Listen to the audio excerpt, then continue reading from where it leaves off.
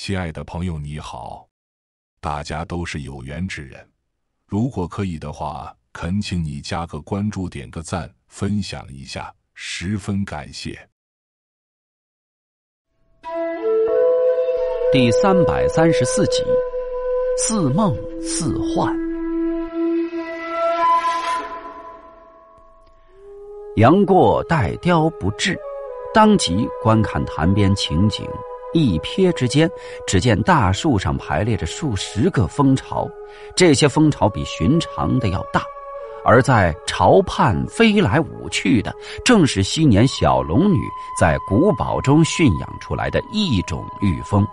杨过一见，禁不住“啊”的一声惊呼出来。他双足定在地下，一动不得。过了片刻，这才走进巢旁查看。只见蜂巢之旁糊有泥土，实是人工所为，依稀是小龙女的手迹。莫非当年龙儿月下此谷，便在此处居住？绕着寒潭而行，查看一遍。但见四下峭壁环列，宛似身处一口大井之底。常言道：“坐井观天。”但坐在此处望上去，尽是白云浓雾，又怎得见天日啊？杨过折下几根树干，敲打四周的山壁，全无异状。但凝神查看，发现有几棵大树的树皮曾被人剥去。有些花草畔的石块排列整齐，实非天然。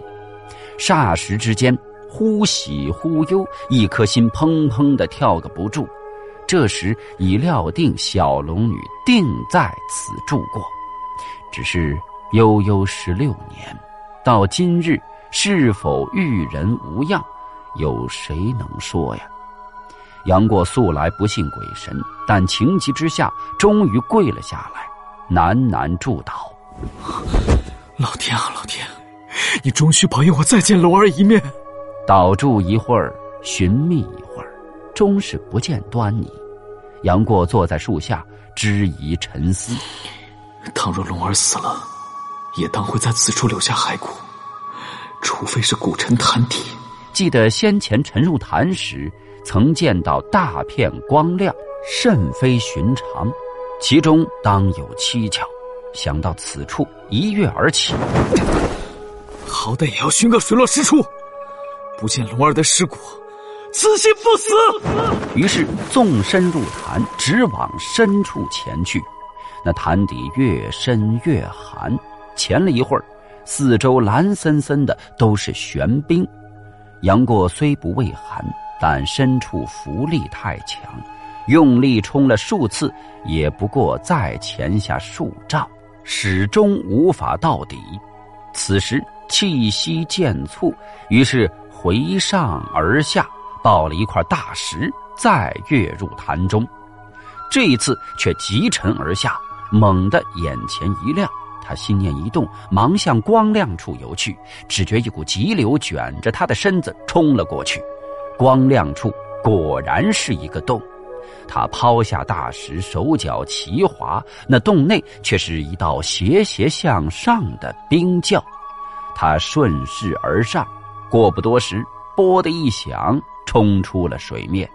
只觉阳光耀眼，花香扑鼻，竟是别有天地。他不及爬起。游目四顾，只见繁花青草，便如同一个极大的花园。然花影不动，幽谷无人。他又惊又喜，纵身出水，见十余丈外有几间茅屋。他提气急奔，但只奔出三四步，立时收住脚步，一步步慢慢挨去。倘若在这茅屋中人是他们不到。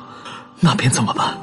杨过走得越近，脚步就越慢，心底深处实是怕这最后的指望也终归泡影。最后走到离茅屋丈许之地，侧耳倾听，四下里静悄悄的，绝无人声鸟语，唯有御风的嗡嗡微响。待了一会儿，他终于鼓起勇气，颤声道。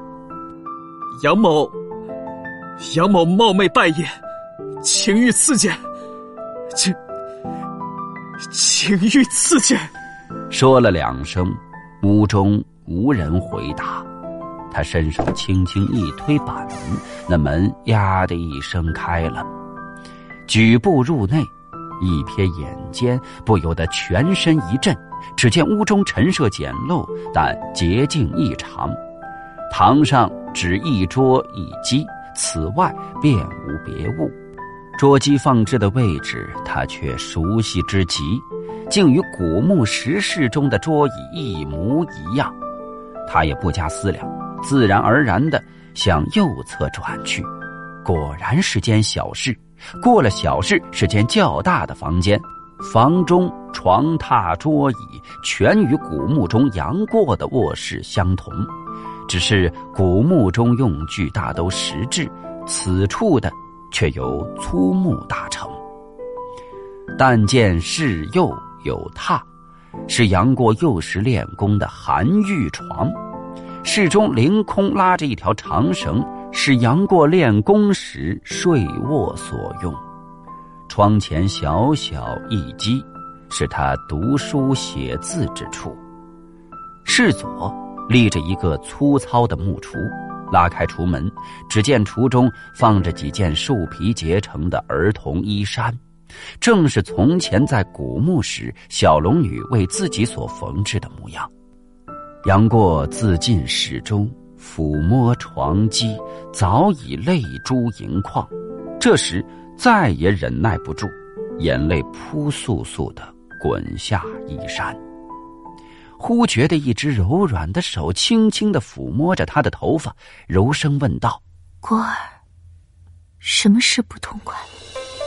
这声调语气，抚他头发的模样，便和从前小龙女安慰他一般。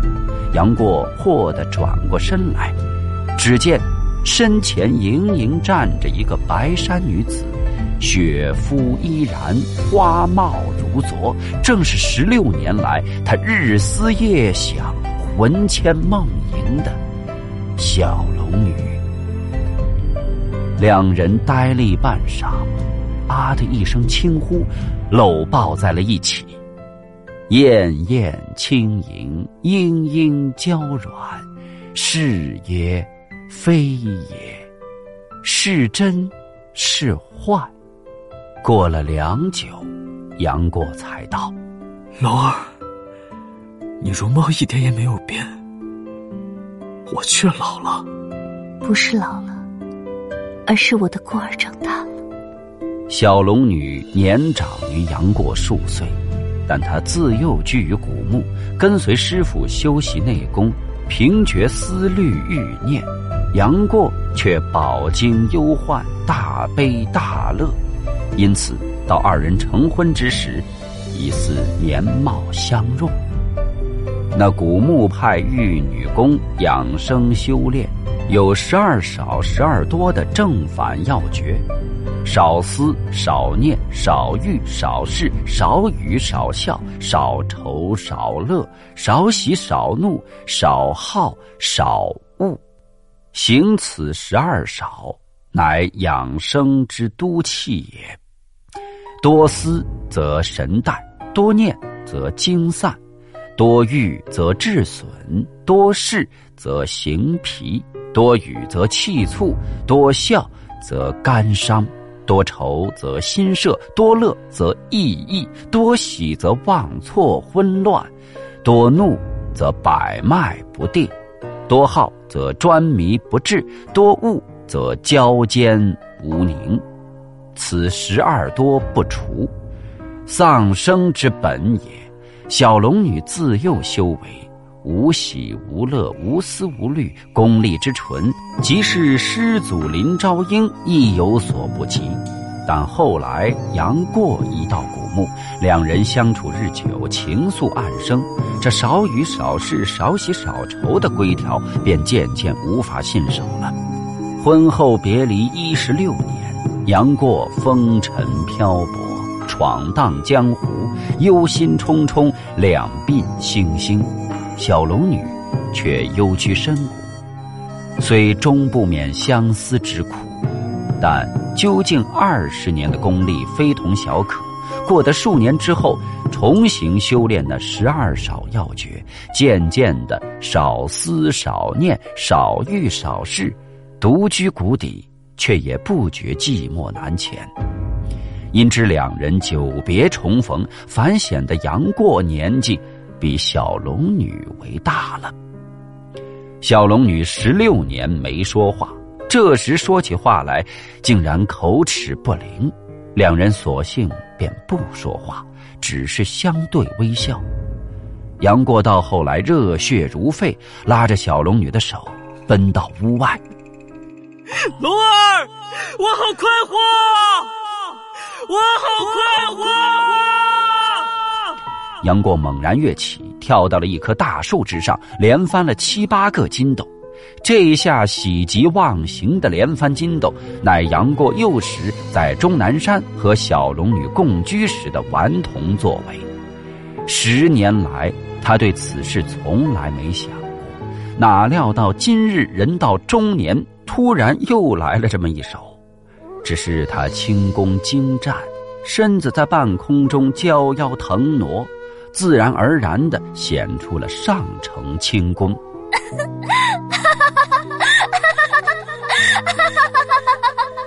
小龙女纵声大笑，什么少语、少笑、少喜、少乐的禁条，全都抛到了九霄云外。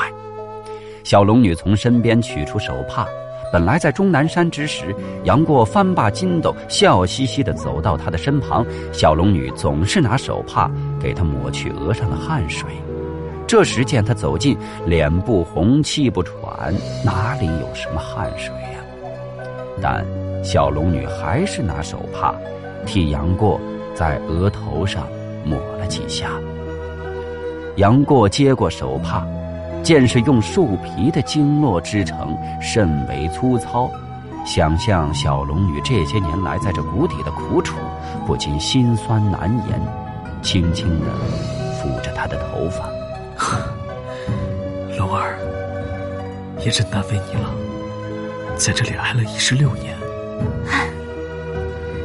倘若我不是从小在古墓中长大，这十六年定然挨不下来。两人并肩坐在石上，互诉别来情事。杨过不住口的问这问那，小龙女讲了一会儿话，言语渐渐灵便，才慢慢的将这一十六年中的变故说了出来。